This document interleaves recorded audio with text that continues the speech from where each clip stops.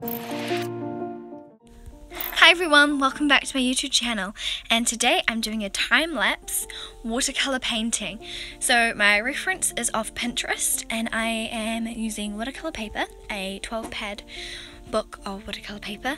I cannot pronounce the brand for the life of me so I'll link it down below.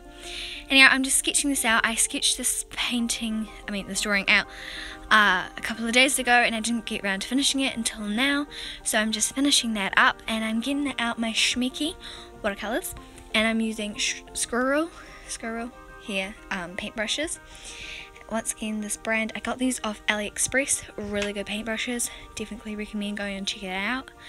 Anyhow I'm just working on building up the layers of the pigments and the colors and marking up the lips and then fixing the lips and then realizing the ears in the wrong spot and don't realizing that until the very end. Anyhow I hope you guys enjoy this video. Um, please let me know if you do. I'm trying different angles and trying different stuff and yeah, all that stuff. So check me out on Instagram at izzybizzycrafts, one word, no capitals, and I hope you guys enjoyed this week's video, and I'll see you all next week. Bye!